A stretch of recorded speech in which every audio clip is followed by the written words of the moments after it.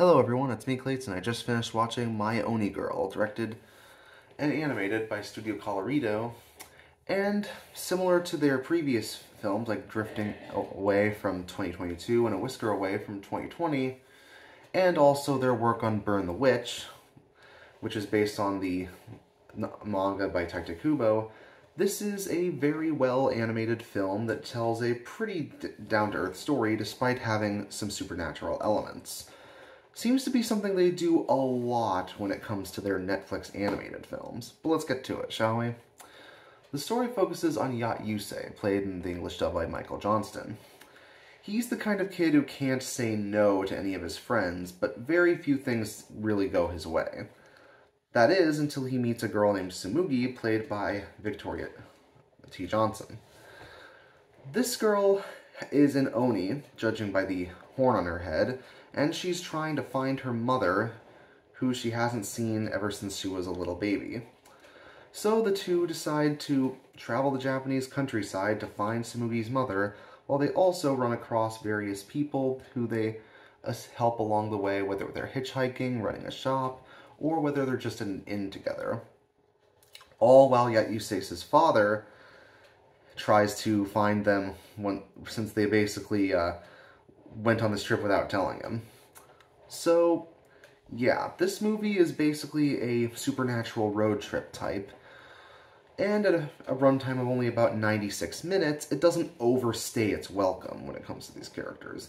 It knows what kind of story it wants to tell, and it does so pretty, pretty decently.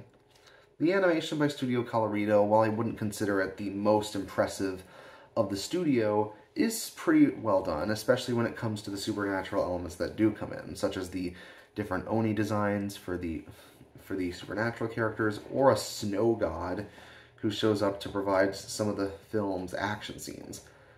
Granted, action is secondary to everything, but the, the, the action scenes still look pretty good and even pretty atmospheric in many cases.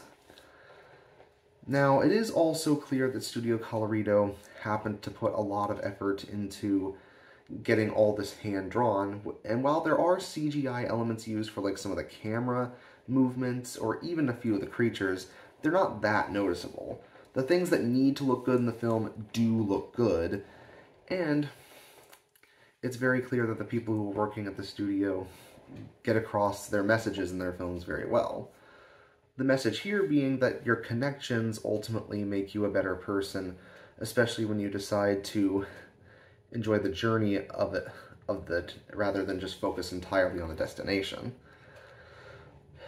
Granted, it does also tie into Yusei's inability to say no to people when it comes down to it, but it also allows the human characters and the Oni characters to come together at the end when throughout some parts of the film, they naturally don't trust each other. It feels like it's done in a way that's a bit more, how shall we say, um, understandable because it's two groups of people trying to help each other in a situation that neither of them can control. So naturally gets them to work together as opposed to against each other for once.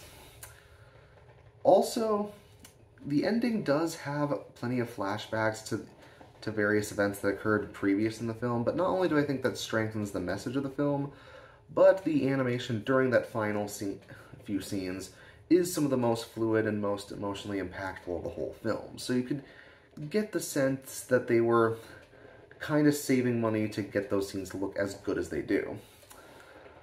Now, I don't know if it's as good as Penguin Highway or A Whisker Away when it comes to their films, but for those who are a fan of Studio Colorido's work, it should please you. That's why I'm going to give it an 8 out of 10. See you next time.